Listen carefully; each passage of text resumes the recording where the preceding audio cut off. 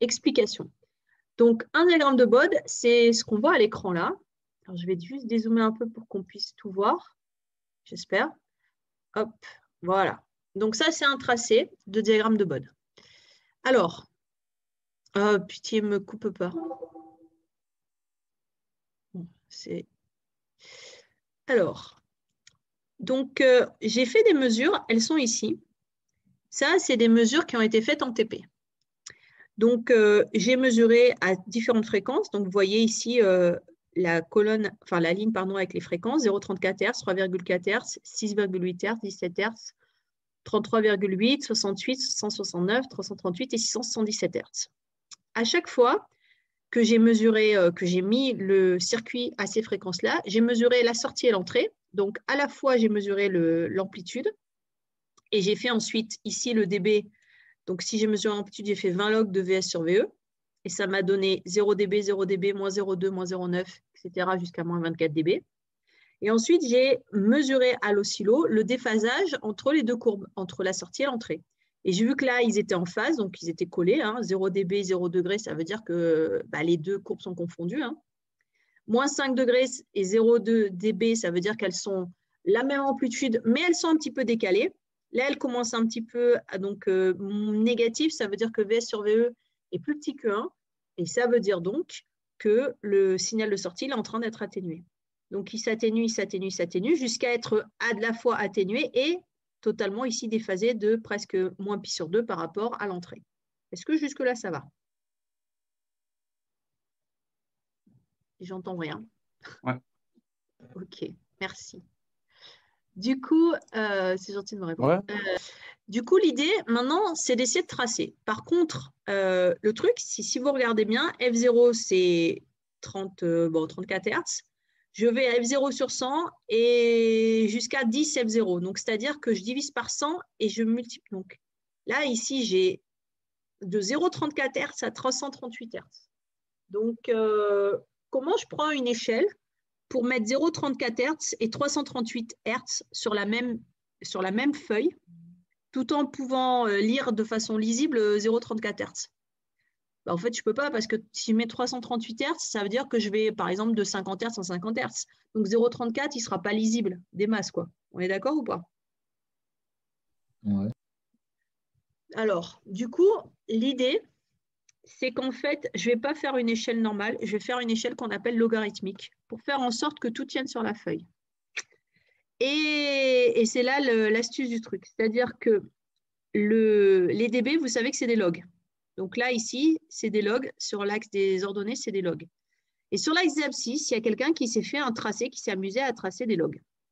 Alors, je vous montre comment ça marche. Ici, vous voyez, il y a 0,1. Ici, 0,2 ici 0,3, ici 0,4, ici 0,5, ici 0,6, ici 0,7, ici 0,8, 0,9 et enfin 1. Donc 1, il est là. OK. Ensuite, le carreau d'après ici, ça va être quoi? Ça va être 2. Ici, c'est 3. Ici, c'est 4, 5, 6, 7, 8, 9 et 10. Là, c'est 10. Et là, c'est combien? C'est 20. 30, 40, du coup 40 Hertz, 50, 60, 70, 80, 90, 100. Et arrivé à 100, le prochain carreau, c'est 200, 300, 400, etc. jusqu'à 1000. Donc, la façon de compter est un peu bizarre, mais grosso modo, à chaque gros carreau, c'est-à-dire un gros carreau, c'est ça, à chaque gros carreau, je multiplie par 10 en fait. J'ai ce qu'on appelle en français, alors vocabulaire hein, français, une décade. Il y en a qui ont déjà entendu parler d'une décade. On en parle souvent quand on parle d'un genre il s'est passé 10 ans, on dit euh, il s'est passé une décade. Ah non, et on dit il s'est passé une décennie. Décennie, décade, ouais. On voit que c'est un peu le même. Le même euh. Donc décade, c'est quand tu oui, décathlon, parce que c'était 10 km. Non, je crois que c'est parce qu'il y avait 10 sports. Oui, c'est le sport, bah, le décathlon. Voilà. Ah bah, c'est une épreuve où il y a 10 sports, je crois. Enfin, des épreuves. Comme le bah, triathlon. Ouais, voilà. DK, je pense que ça veut dire 10 alors du coup. Du coup, décaféiné, non, aucun, aucun rapport. Mais oui. Pas mal, pas mal. Ok, donc effectivement, vous avez raison. euh, décathlon, euh, c'est c'est exactement pareil. Pentathlon, du coup, il n'y en a que 5. Parce que pint, penta, pint. Ah, et biathlon, il y en a deux.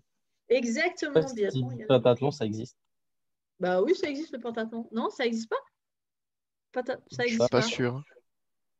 Moi, je Le sais triathlon. le, le- le triathlon, le biathlon le et quadriathlon. le, décathlon, existe. mais ça, je sais quoi le 10 kHz sans problème sur une seule échelle.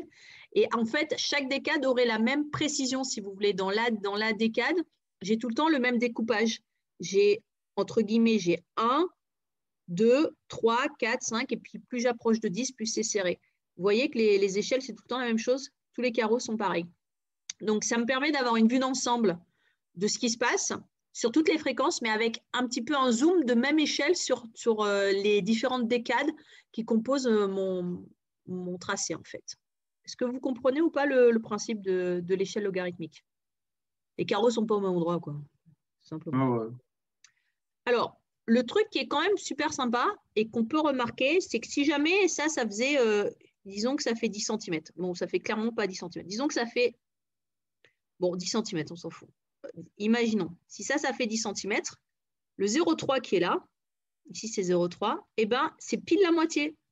C'est 5 cm. Pourquoi? Parce qu'en fait, si je tape à la calto, je me rends compte que log de, 0, log de 3, c'est à peu près, près 0,5. Donc, ça veut dire que c'est la moitié. Et si je fais log de 2, log de 2, c'est à peu près 0,3. Donc, 0,3, à peu près. hein. Ça veut dire que ici, 2, ça ferait 3 cm. OK? 3 cm. Donc, c'est pour ça qu'ici, j'ai 3 cm là. Et après, de là à là, j'ai 5 cm. Et de là à là, j'aurai 10 cm. Donc, on voit bien qu'ici, le 3, c'est la moitié du carreau, en fait. Donc, c'est le seul truc, en fait. Il faut se dire que, normalement, la moitié du carreau, d'habitude, c'est 5. Si tu vas de 1 à 10, la moitié, c'est 5. Et là, en échelle logarithmique, quand tu vas de 1 à 10, la moitié, c'est 3. Voilà. Ça vous donne un peu l'idée de l'ordre de grandeur. Est-ce que ça va jusque-là ou pas? Ouais. Oui. Alors, ensuite, l'idée, c'est que je vais prendre une échelle euh, verticale qui tient bien. Donc euh, là, je pars de 0 dB. Ben, pourquoi? Parce que bah, le maximum, c'est 0. Et je vois que je vais jusqu'à moins 24. Donc, du coup, j'essaye de, bah, de tout faire tenir. J'aurais même pu faire une échelle plus grosse, à la limite. Mais après, j'avais peur que ça, ça sorte de- du tableau. Donc, euh, j'ai fait de 2 en 2. Donc, euh, 0, moins 2, moins 4, etc. jusqu'à moins 36, parce que j'avais de la place. Alors, maintenant, on va essayer de voir si je n'ai pas fait de bêtises. Donc, 0,34, c'est là. 0,34. Donc, le point, maintenant, 0,34, 0 dB, où est-ce qu'il est? 0,34, 0 dB, il est là. Alors, là, vous auriez pu me dire, madame, normalement, il devrait être au milieu du carreau. Effectivement, il devrait être au milieu du carreau. Donc, normalement, il est là, le point.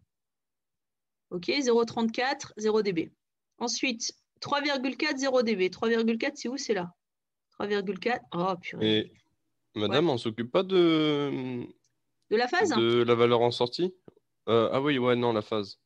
Euh, La phase, c'est la deuxième courbe. On va faire courbe par courbe si ça t'embête pas. On va Je mettre deux courbes sur euh, ici. Bah là, il y a deux courbes en fait sur une seule. Tu vois, là, ici, il y a les degrés. Et là, il y a l'échelle des dB. Ouais, Vous bon, avez jamais bon, vu allez-y, allez-y. Allez-y, allez-y, je, on verra, je verrai bien. Ok. Bah, je finis juste cette courbe-là. On fait juste. Alors, la courbe qu'on est en train. on va la faire. Et après, j'en parle. Donc, 3,4, 0. Donc, 3,4, c'est là. Et 0, 0, c'est là. Donc, du coup, c'est celui-là. Ensuite, celui-là, il est fait. Bam. 6,8 moins 0,2. Bon, moins 0,2, euh, c'est à peu près 0. 6,8, c'est ici. 6,8, voilà, c'est à peu près 0. Euh, 17 moins 0,9. Alors, moins 0,9, c'est pas loin de moins 1. Donc, je pense que c'est à peu près par là. Hop. Je suis à peu près ici. Ça, c'est 6,8. Euh, ça, c'est 17, pardon. 17, c'est fait. Ensuite, euh, 33,8. Bon, 33,8, je ne vais pas avoir à le mettre, donc je vais mettre 34. hein. 34, je monte. Hop, il est là. Et je suis à moins 3. OK Donc, euh, ça, c'est fait. 68, je suis à moins 7. 68, il est là. Donc, il est presque à 70. Je suis à moins 7. Tac. Il me reste euh, le 169 qui est à moins 14. 169, il est là. Il est à moins 14, il est là. Et il me reste 328 à moins 20. 328, il est là, à moins 20. Et moins 24 pour 677 qui est là. Donc la courbe que je viens de faire, alors je vais essayer de la repasser sans, ah, sans bouger. Bon, ok, j'arrive pas. Je vais la repasser sans bouger, mais avec des traits. Voilà, ça va faire comme ça. J'ai ça comme courbe, plus celle-là. Bon, à peu près, je colle à ces deux courbes. Donc, ces deux tracés-là que j'ai fait en vert, c'est ce qu'on appelle les asymptotes. Pourquoi? Parce que je vois que ma courbe, ma vraie courbe, en fait, à part ici, où elle se décolle un peu, à part ici, où elle se décolle un peu, ah, je vais essayer de le faire bien, euh, le reste du temps, elle est confondue avec l'autre. Ouais Elles sont confondues toutes les deux. Vous êtes d'accord ou pas avec moi? Allô, ici la Terre Oui. Oui. C'est gentil, merci. Euh, du coup, là, mes asymptotes, je me rends compte que si je les trace bien, je vois qu'elles se coupent en une fréquence et ça tombe pile poil ici sur ce qui avait à moins 3 dB. Alors à moins 3 dB, j'avais celle que j'avais appelée F0. Donc si tout se passe bien, les deux asymptotes devraient se couper là, si tout se passe bien. Ensuite, mes asymptotes, si tout se passe bien aussi, euh, celle qui est plate, bon bah là elle fait 0 dB, hein, c'est ce que j'ai marqué ici. 0 dB comme pente, hein, la pente elle est de 0. Et celle-là, ce que j'ai marqué là, c'est qu'elle fait moins 20 dB par décade. Alors comment je fais pour savoir que ça fait moins 20 dB par décade? Je vais utiliser un truc qui s'appelle euh, un calcul de pente. C'est-à-dire que si je prends le point qui est là, il est à 0 dB et il est à, on a dit, 30, bon, à peu près 34. Euh, donc je prends une décade plus loin, c'est-à-dire 340, donc 338 puisque c'est plus exact. 338, hop, oh, je suis à moins 20.